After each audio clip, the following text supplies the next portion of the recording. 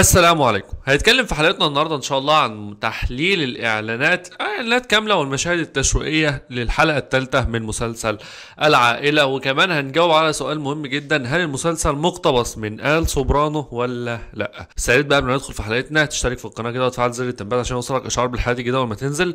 وتعمل like للحلقة وتعمل share مع أصحابك لو الحلقة عجبتكم. ويلا بينا نبدأ في حلقتنا النهارده.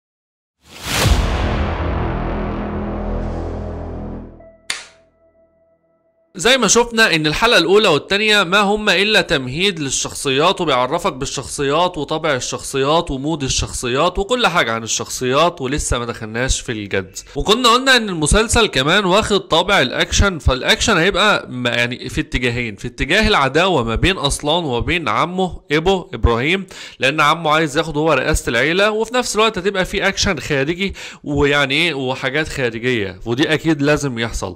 بس من الواضح إن ال- يعني المسلسل هياخدنا كده في اتجاه الأكشن العائلي في البداية. العداوة ما بين أصلان وما بين ابو فكلنا شفنا إن أتيلا اوزلماز اللي هو المفروض كان أصلان هيشتغل معاه عرض إن هو يشتغل معاه. طبعا هم بيشتغلوا في القمار فعايزين يعملوا منصة إلكترونية. ما يقولي كنت عملتها لهم والله. يلا ما علينا. فمع منصه إلكترونية وبيعملوا عليها. فأتيلا عرض على آه، أصلان عرض إن هو يعمل فيلم يعني وثائقي عن أبوه عشان خاطر أبوه طبعا كان مافيا كبير جدا فعايز يعمل وثائقي عن أبوه. فهو قال له طول ما أنا عايش مفيش حد يقدر يعمل وثائقي عن أبويا من الآخر يعني. ورفض العرض تماما. وهنا بقى آه، إبو إبراهيم بيصطاد في المية العكره وبيحاول يلف على أتيلا عشان خاطر يعمل هو الوثائقي عشان يولع الدنيا وعشان خاطر يعني عداوته بقى إيه مع أصلان. وإن هو أصلا بالنسبة له مجرد عيل وخلاص أنت بتتكلم في إيه؟ ده أنت عيل بالنسبة لي أنا كبير العيلة يعني. أصلا أنا أخو أبوك الكبير. إبراهيم أخو أبو أصلان الكبير أصلا يعني. وبنشوف إن هو هيعمل معاه عمل مع الاتفاق ده ومن الواضح إن الحلقة الجاية هيتم بالفعل عمل الفيلم الوثائقي وده اللي هيخلي اصلان يتجنن عليهم هما الاثنين على عمه وعلى أتيلا ويبقى يعني خلاص دمار بقى. فاحنا اول اكشن كده هيبقى بالنسبة لنا هو الاكشن العائلي ما بين أصلان وما بين ابوه ما بين عمه مع أتيلا اوزلماز طبعا وهيبقى ده بداية الاكشن كده في المسلسل. بالنسبة لباقي الحلقة من الواضح خلاص يعني مع الاكشن ده يبقى الدراما العائلية وإنها خلاص ديفين هتقول تعلن إن هم هيتجوزوا وجوازهم وهيبقوا قريبين من بعض وجو العائلة. مع كمان إن جيهان زي ما قلنا إن هو مهووس بالكل ال girlfriends بتوع أخوه يعني أي حد أخوه بيحبه هو بيبقى مهووس بيهم وبيبقى عايزهم حب التملك وده أكيد سببه حاجة معينة هنعرفها في الأحداث القادمة. بس خلاص شفناه هو بيحاول في المشهد التشويقي مع ديفين ولكن ديفين بتطرده من الآخر وما بتدلوش فرصة وده هيدي تاتش كبير ما بين أصلان وما بين جيهان. وزي ما قلت لسه اللي بيحصل بين أصلان وبين جيهان ده هياخدنا كتير لازم يبقى فيه وراه حاجة كبيرة حاجة حصلت زمان. وفي نفس الوقت كمان ده هيبقى له أثر كبير جدا في الحلقات القادمة. فهل يا ترى جيهان هيقف في صف يعني أصلان ولا صف أبوه ولا هيبقى لوحده كده وعايز ياخد هو رئاسة العائلة. فدي يعني خط درامي لوحده كبير هيبقى موجود في الحلقات الجاية لأن الممثل نجاة يعني ممثل رائع جدا اللي عامل شخصية جيهان.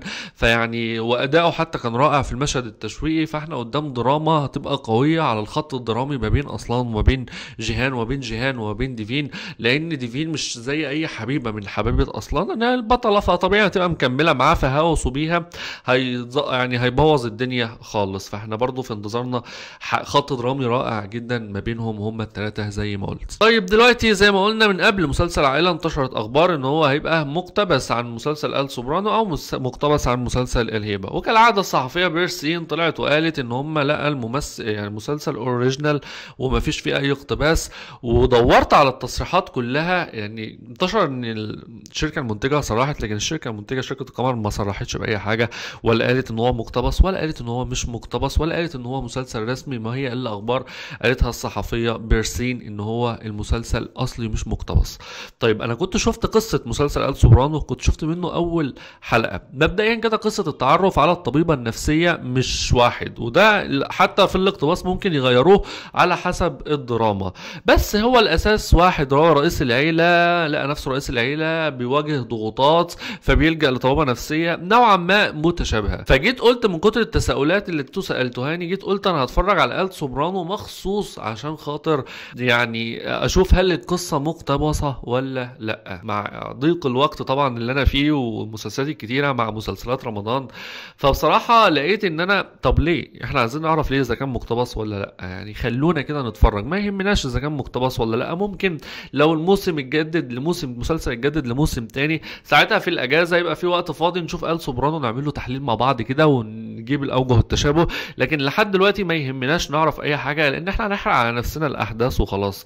فأنا قررت إن أنا مش هشوف آل سوبرانو ومش همشي ورا آه، خط إذا كان هو مقتبس منه ولا لأ. دعونا نستمتع يعني لأن إحنا مش هناخد أي حاجة غير قتل المتعة لو عرفنا إن هو مقتبس من آل سوبرانو لأن هتبقى أنت عارف النهاية هتبقى عارف القصة. فيبقى إحنا دورنا إيه؟ بنحلل إيه أصلا ولا بنعمل إيه؟ هيبقى المسلسل بايخ من الآخر يعني لأن أنت عارف كل النهاية وعارف كل حاجة فيه لأن طبيعي لو هو مقتبس أكيد يعني هنعمل حلقات كتير عنه ونقول بقى الأحداث فخلينا نتوقع من دماغنا عن طريقه تحليل أفضل وأحسن. ولو اتجدد إن شاء الله وفي أوجه تشابه كتيرة وأنتوا عايزين الموضوع ده مني اوعدكم إن هو في الأجازة مش قبل كده. الأجازة اللي هي أجازة الصيف اللي هي من بعد مثلا شهر سبعة كده بعد ما بيكونوا المسلسلات كلهم خصوصا فترة الأجازة بتبقى فترة خمول شوية مفيش فيها مسلسلات. ممكن أبقى أشوف المسلسل ونشوف أوجه التشابه ما بينهم بإذن الله. ده كل اللي عايز أقوله في حلقتنا النهارده. في انتظار الحلقة اللي هتنزل يوم الثلاث اللي أكيد هتبقى حلقة أسطورية بداية الأكشن بقى بداية نشوف أصلان على وجهه الحقيقي أخطر حيوان في العالم. يا ريت لو تعمل like و share للحلقة ويا ريت انت مش مشترك تشترك في القناه وتفعل زر التنبيهات عشان يوصلك إشعار بالحلقات الجديدة أول ما تنزل.